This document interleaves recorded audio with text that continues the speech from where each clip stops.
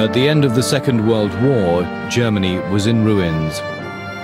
The Fuhrer Adolf Hitler lay dead, killed by his own hand in a Berlin bunker.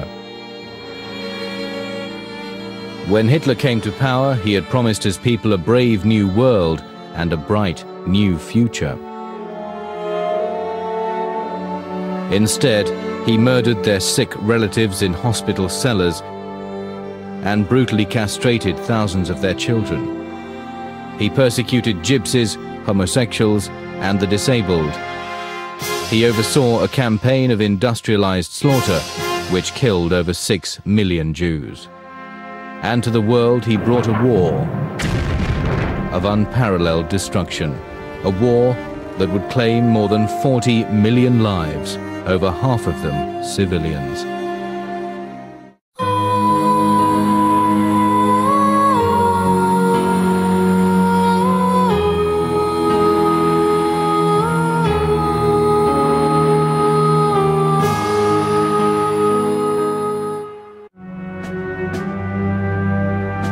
1914, patriotic crowds gathered in German streets to celebrate the outbreak of World War I.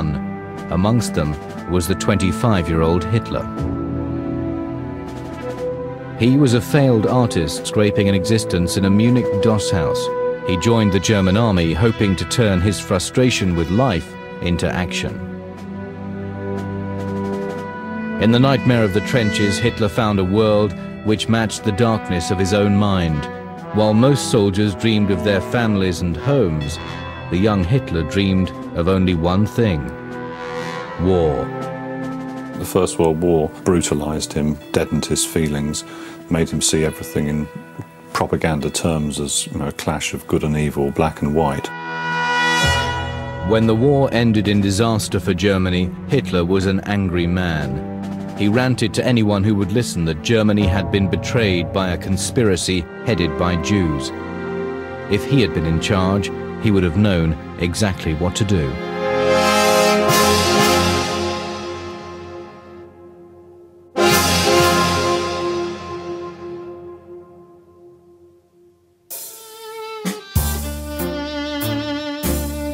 Back in Munich, Hitler was recruited by the German army to spy on a small extremist group called the National Socialist Workers' Party. The group was nationalistic, anti-Semitic and violent. Hitler liked what he saw and offered his services as a speaker. Here was somebody who was aggressively asserting German interests and German values. The Germans are being told, in addition to being you know, the most hard-working, made in Germany, um, most civilized people in Europe, they're being told also, yes, and you're, there's a bit of the sort of barbaric Hun down there somewhere in you, and if all these other countries, their corrupt statesmen or whatever, if they don't watch out, we're going to unleash this barbarian all over the place. And I think actually some people rather like to be told that. Hitler's bloodthirsty speeches struck a chord. Party attendance first doubled, then trebled. In a short time, Hitler was able to bully his way into becoming the undisputed leader of the Nazi Party. In the beer halls of Munich, Hitler recruited an army of thugs called the Sturmabteilung, or SA. Their purpose was to spread terror, intimidation and violence onto the city streets. At meetings, they would act as his bodyguard, mercilessly beating up anyone who questioned the words of the Fuhrer. While his brutish gangs ruled the streets, Hitler embarked on a campaign to charm respectable society. He could play at lots of levels. In other words, there was a type of um, folksy earnestness which appealed to the lower classes. You know, this was a man who'd shake your hand firmly and tell you that he'd worked on the building site, whereas, of course, one look at him, you could tell that he hadn't. On the other hand, he moved very easily in society draw drawing rooms where it's quite obvious that uh, society ladies thought of him as a bit of attractive rough, that he had a sort of bohemian chic about him. Hitler encouraged his female supporters by presenting himself as a hermit-like, celibate figure who devoted all his energies to the good of Germany. But again, the image he projected was a lie. He was at the time involved with a number of teenage mistresses, beginning with Maria Reiter, the daughter of an innkeeper from Berchtesgaden. He was 37, she was 16, so she was literally young enough to be his daughter. And he felt much more at home when he could be patronizing, could be superior, could be avuncular, could be the older man. The mistress that made the biggest impression on Hitler was 16 year old Geli Raubal. She was Hitler's niece, the daughter of his half sister, Angela. In 1929, Geli moved into Uncle Alf's grand apartment on Munich's Prinz Regentenplatz. She took a bedroom adjoining his on the second floor. Geli was vivacious, idealistic, and free spirited. Hitler was controlling, strict, and possessive. Geli felt trapped, but Hitler would not let her go. The longer they were involved, the more she saw of the seamy side. There was obviously uh, a nasty side to his sexual nature, just as there was a very nasty side to his political nature. On the 19th of September 1931, Geli was found dead in Hitler's flat. She was bleeding from a wound near her heart. One arm was stretched out towards a pistol, a Walther 6.35. The police recorded a verdict of suicide. Geli was the first mistress to be driven to a violent death by Hitler, but she would not be the last. The actress Renata Müller threw herself to her death from a window in 1937, and Eva Braun attempted suicide at least once before her final pact with Hitler. But it was Geli's picture that Hitler kept in his bedroom in Munich and Berlin until his death in 1945.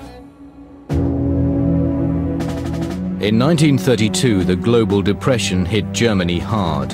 When it came to the elections, the Germans needed a radical solution. The solution they chose was Hitler and the Nazi Party. Germany is in a state of absolute chaos, and along out of nowhere comes this unknown soldier figure, the Messiah, whose role it is is to lead the German people into a type of paradise on earth. And you don't have to wait until the afterlife. This is in the here and now. But Hitler's new German paradise was not a place where everyone was welcome. They are treacherous, cowardly, and cruel, and appear in large swarms. In the animal kingdom, they represent the element of underground destruction. In fact, they are just like the Jews.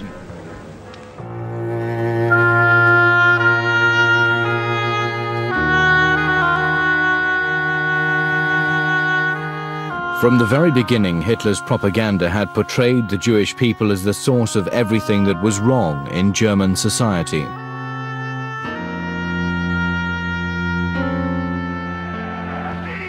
When Hitler came to power, he banned marriage and sexual intercourse between Germans and Jews. And he reintroduced a medieval law forcing Jews to wear a yellow star of identification. In November 1938, Hitler whipped up anti-Semitic feeling into a nationwide frenzy of violence. Jewish shop windows were broken, over a hundred Jews were killed and 27,000 were interned in camps for their so-called protection. It was called the Reichskristallnacht, the Imperial Night of Crystal. In the morning at school, we knew that the local synagogue was burning. And as a young boy, you're curious and you want to see. So we sped off on our bikes about 10 kilometres. By the time we got there, the synagogue had pretty much burned down. The fire brigade was standing there watching, but they weren't putting out the fire.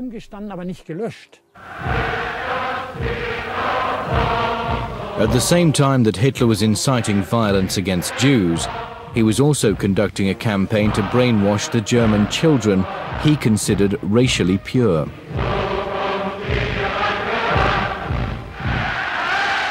These were to be the seeds from which he would grow a master race.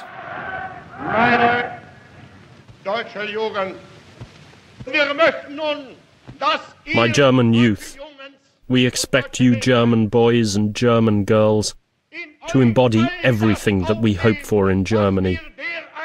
We want to be one nation, and you, my German youth, shall become this nation. Und ihr, meine Jugend, sollt dieses Volk nun werden.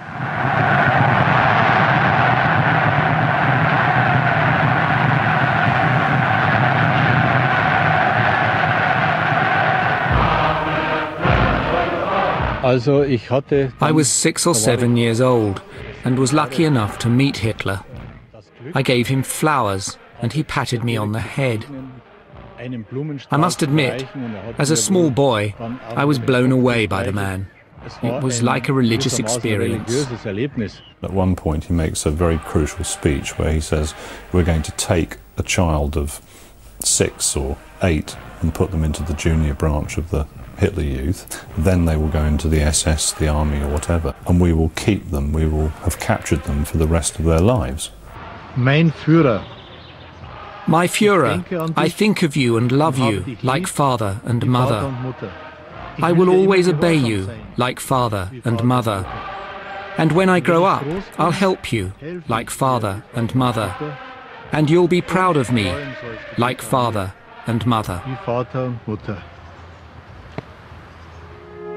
With complete control of the German political system, its army and its youth, Hitler was ready to take increasingly extreme steps towards his vision of the new Germany. But to do this, he would need a war.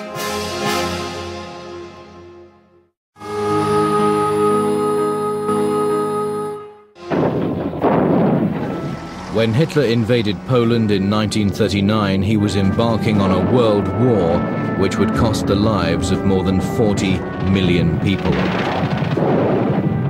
In Germany, he was already waging another war, a war against the German people themselves. We will care for them, but we will not allow them to reproduce. These unfortunate creatures should not be allowed to live alongside our healthy children. Sterilization is just a simple medical procedure. Hitler was a hypochondriac and he had never been good at sport, yet he believed that the sick and weak were an unnecessary burden on the rest of society.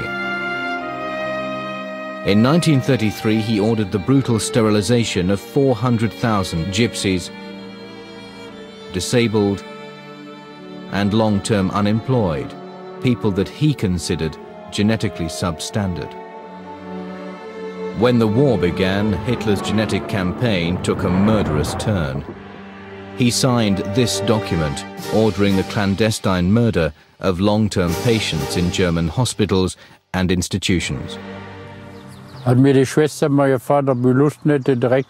The nurse asked me once if I fancied carrying some dirty washing to the laundry. I said why not. I was pleased to get out of doors for a bit. I noticed that the baskets were heavier than usual, so when they weren't looking, I had a peek under the laundry, and in each of them were the bodies of three children, two boys and one girl. And on another day, it was the other way round. At first, the systematic killing was carried out by lethal injection. But as Hitler's list of murder candidates grew, a new technique for mass murder was developed. It was tested in six provincial hospitals, including Hadamar Asylum in Hessen. Here, the patients were taken into the basement where they were asked to undress. They were then directed to the shower room.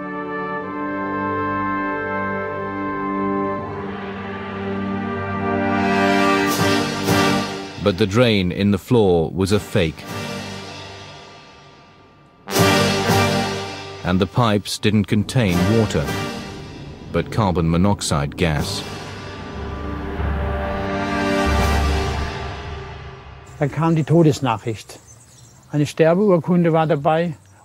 The death notice arrived. There was a death certificate and a letter which said that the corpse of my mother could not be sent due to the danger of infection. It had to be cremated straight away.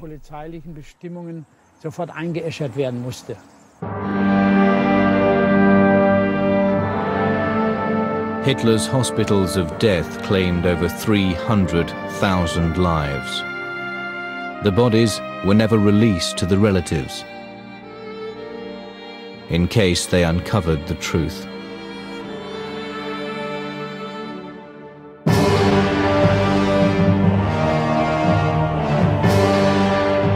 While Hitler's troops laid waste to Europe, a million-strong army of slave laborers from Poland, France and Yugoslavia were toiling to build huge monuments to Hitler's vanity.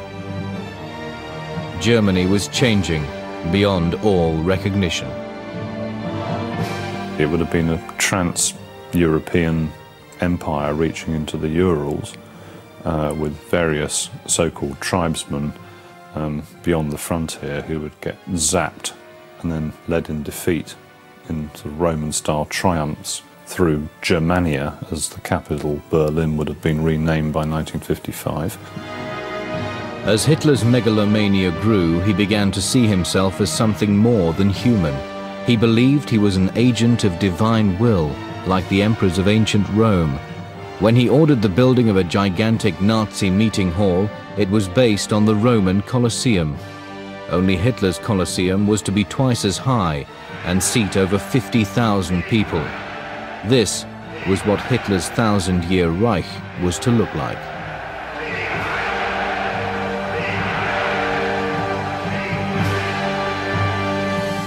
If the international Jewish finance crew succeeds in plunging the peoples of the world into another world war, the result will not be the Bolshevization of the planet and the victory of the Jews. The result will be the annihilation of the Jewish race in Europe.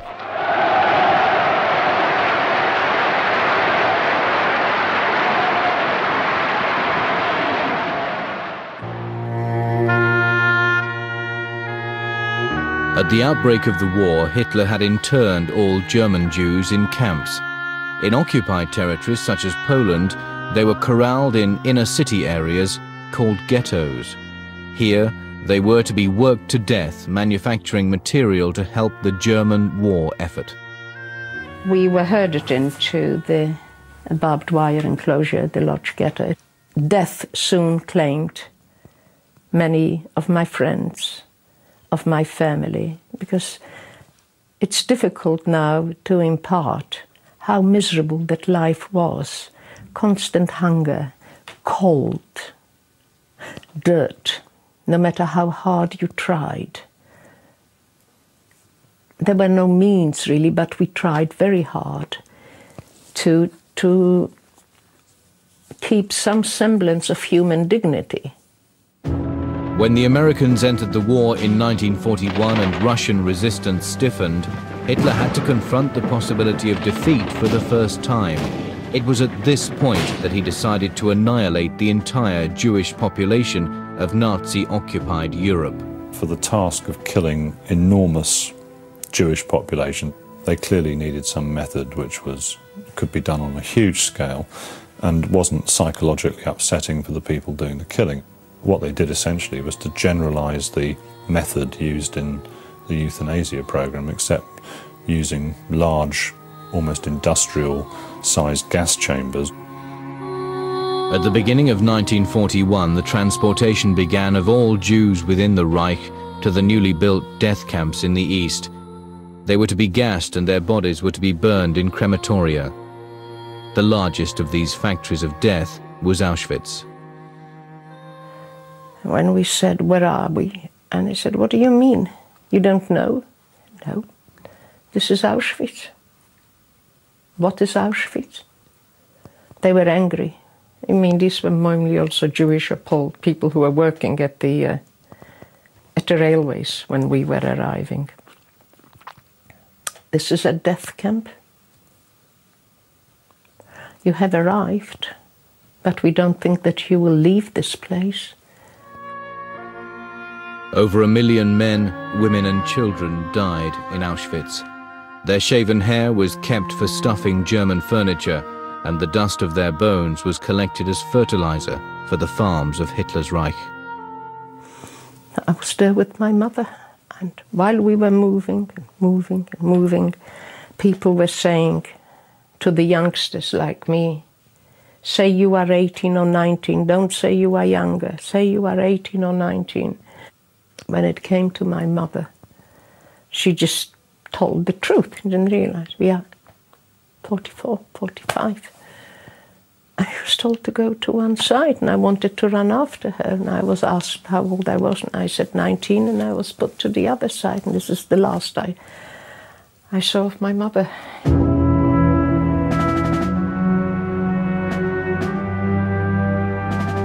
In 1942, the 270,000 men of Hitler's Sixth Army were trapped by the Red Army at Stalingrad. Hitler refused to allow them to retreat as they stared annihilation in the face, he ordered them to die like heroes. When the 90,000 survivors surrendered, Hitler went berserk. But the tide had turned.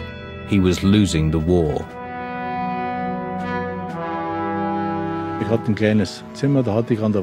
I had a little room with a big map of Russia with flags in. I noticed that after the Battle of Stalingrad, the flag started moving backwards. Soon it was clear that the war was coming to Germany, and we wondered, what will happen then? As Russian tanks crashed across the German borders and headed towards Berlin, Hitler carried out yet another act of betrayal. Hitler had decided that um, being an um, extreme social Darwinist, that uh, the German people had shown that they were not fit for the fight against what had proved to be the stronger people to the east. And um, he thought, well, they've, they haven't won it, they've shown themselves almost biologically deficient, so they must be useless. So therefore, I don't care whether we blow the whole place to pieces. Um, he orders the complete destruction of the whole infrastructure of Germany. Hitler's Nero order was never carried out. The Germans had finally had enough. Hitler appeared one last time before the cameras. He was a physical wreck, smiling inanely as he touched the faces of boy soldiers about whose imminent death he cared nothing. On the 28th of April 1945, Hitler married Eva Braun, and on the following afternoon he poisoned and shot himself to avoid capture. In his final will and testament, Hitler declared his love for the country he had destroyed and warned future German leaders to observe the laws of race and mercilessly oppose that universal poisoner of all peoples, the Jews.